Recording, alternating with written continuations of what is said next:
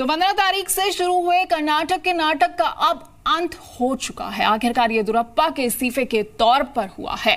इन पाँच दिनों में क्या रहा पूरा सियासी घटनाक्रम? देखे इस रिपोर्ट में कि कैसे पल पल बदला ये समीकरण।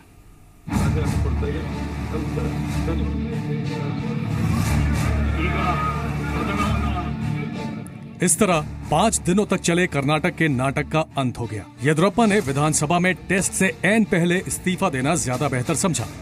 दरअसल, पाँच दिनों तक पूरे देश की नज़र कर्नाटक के सियासी घटनाक्रम पर टिकी थी कि क्या किसी भी दल को स्पष्ट बहुमत नहीं मिलने की सूरत में कर्नाटक में बीजेपी सरकार बनाने में कामयाब हो पाएगी। आइए देखते हैं 15 मई को चुनाव नतीजे आने के बाद से 19 मई को येदुरप्पा के इस्तीफे के साथ खत्म हुए नाटक का घटनाक्रम। 15 मई को जैसे ही ये साफ़ हो गया कि कर्नाटक की जनता ने किसी भी दल को स्पष्ट बहुमत नहीं दिया है जोड़ तोड़ की सियासत शुरू हो गई। बीजेपी का दावा था कि वो सबसे ज़्यादा सीटें जीती है, लिहाजा सरकार बनाने का उससे पहले न्योता मिले। लेकिन इधर कांग्रेस ने ऐलान कर दिया कि वो जेडीएस के कुमारा स्वामी के नेतृत्व में सरकार बनाने के लिए गठजोड़ के लिए तैयार है। लेकिन कांग्रेस जेडीएस के गठजोड़ की टक्कर में बीजेपी ने दावा किया कि ये गठबंधन अनैतिक है। दूसरी ओर, दूसरे दिन, यानी 16 मई को दिन भर सियासी जोड़ तोड़ चलती रही। कांग्रेस ने विधायकों के लिए कमरे बुक करवाए। दूसरी ओर, येदुरप्पा को बीजेपी विधायक दल का नेता चुन लिया गया। इधर, येदुरप्पा ने ऐलान किया कि कल वो शपथ लेंगे। येदुरप्पा राज्यपाल से मिलने राजभवन गए तो जेडीएस के सभी विधायक भी राजभवन पहुँच गए। लेकिन राज्यपाल ने बीजेपी को सरकार बनाने का न्योता दे दिया। साथ ही पंद्रह दिन में बहुमत साबित करने का मौका भी दिया। लेकिन कांग्रेस जेडीएस को ये नागवार गुजरा और उन्होंने राज्यपाल के फैसले के खिलाफ सुप्रीम कोर्ट का दरवाज़ा खटखटाया। 16 मई की रात और 17 मई की सुबह साढ़े तीन बजे तक सुप्रीम कोर्ट की तीन जजों की बेंच ने कर्नाटक के मामले पे सुनवाई की। राज्यपाल के फैसले के खिलाफ कांग्रेस रात में सुप्रीम कोर्ट पहुँची थी, लेकिन सुबह होते होते कोर्ट ने फैसला सुनाया कि वो राज्यपाल के फैसले पर रोक नहीं लगाएगी। कांग्रेस ने येदुरप्पा की शपथ ग्रहण पर रोक लगाने की मांग की थी। कोर्ट की ये ऐतिहासिक कार्रवाई थी।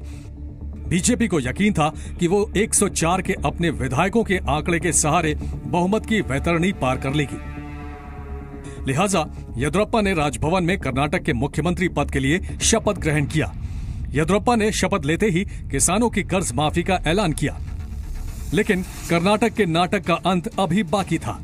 सुप्रीम कोर्ट ने येदुरप्पा को सरकार बनाने के राज्यपाल के न्योते के फैसले पर रोक नहीं लगाई लेकिन बहुमत साबित करने के पंद्रह दिनों की येदुरप्पा को मिली मोहलत को पचपन घंटों में सिमटा दिया। कोर्ट ने कहा कि शनिवार शाम चार बजे तक येदुरप्पा को सदन में बहुमत साबित करना होगा। साथ ही सुप्रीम कोर्ट ने कहा कि आज ही प्रोटेम स्पीकर का चुनाव किया जाए। कोर्ट ने कहा कि राज्यपाल किसे बुलाएँ, इस पर दस हफ़्ते बाद सुनवाई होगी। चार दिनों के सियासी नाटक के बाद आखिरकार वो घड़ी आई, जब कर्नाटक विधानसभा में येदुरप्पा को बहुमत साबित करने की अग्नि परीक्षा से गुजरना था। इससे पहले प्रोटेम स्पीकर को लेकर सुप्रीम कोर्ट में सुनवाई हुई। कोर्ट ने कहा कि प्रोटेम स्पीकर पर सुनवाई हुई तो फ्लोर टेस्ट में देरी होगी। इस पर कांग्रेस ने यू टर्न ले लिया। लिहाजा सुबह 11 बजे कर्नाटक विधानसभा का सत्र शुरू हुआ। सबसे पहले नए विधायकों को शपथ दिलाई गई और फिर 4 बजे निर्धारित वक्त के मुताबिक फ्लोर टेस्ट होना था।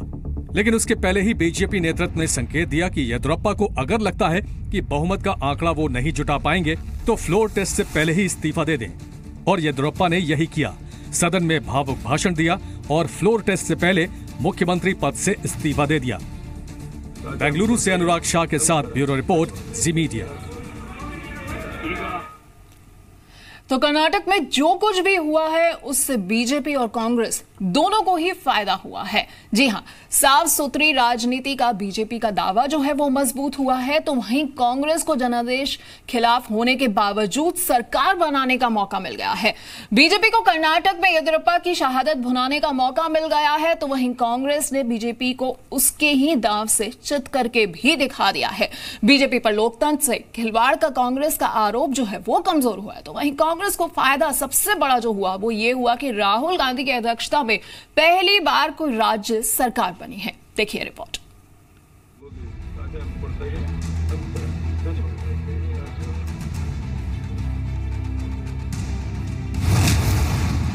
कर्नाटक की शहादत 2019 का विजय पथ।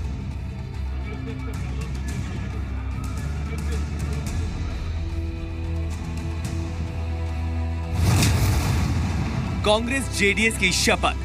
महागठबंधन का मंच।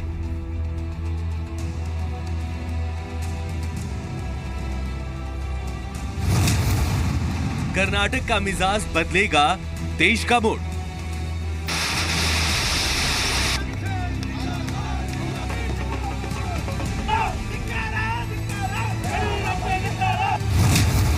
कर्नाटक की बाजीगरी 2019 में बनाएगी किंग।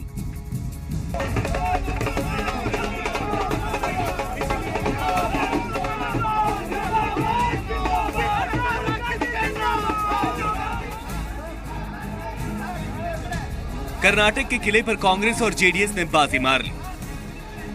और 2014 के बाद यह पहली बार हुआ कि बीजेपी के हाथ से सत्ता फिसल गई। कर्नाटक में अब कांग्रेस जेडीएस को इंतज़ार है बुधवार का। जब कुमार स्वामी सीएम पद की शपथ लेंगे कुमार स्वामी को विधानसभा में अपना बहुमत साबित करना होगा। कांग्रेस के पास जेडीएस के समर्थन के साथ 116 विधायक हैं और राज्य में बहुमत के लिए ज़रूरी संख्या 112 है। कुमार स्वामी को बहुमत साबित करने के लिए 15 दिन का वक्त दिया गया है।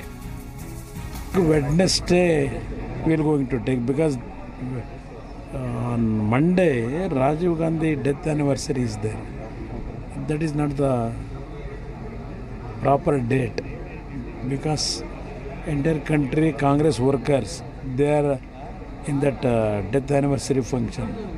At that time, uh, this uh, oath uh, taking ceremony is not good. For that reason, we defer it to Wednesday. खेल कर्नाटक का खत्म हुआ लेकिन अपने अस्तित्व की लड़ाई लड़ रहा विपक्ष पूरे देश में जश्न मना रहा है।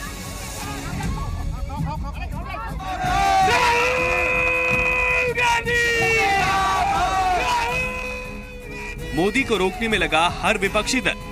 अपनी जीत से ज़्यादा इस बात से खुश है कि कर्नाटक में बीजेपी के हाथ से सत्ता निकल गई। चिंता अब सभी पार्टी को 2019 की करनी है, जो अब बहुत दूर नहीं है। और कर्नाटक ने विपक्ष को जिस तरह संजीवनी दी है, अपनी जीत के सहारे कांग्रेस अब ये साबित करने में लगी है कि मोदी मैजिक कमज़ोर होने लगा है और विपक्ष के पास मोदी की लहर रोकने का फॉर्मूला मिल गया है। बेंगलुरु से जयपाल शर्मा और प्रसाद भोसेकर के साथ bureau report, Zee media, Delhi.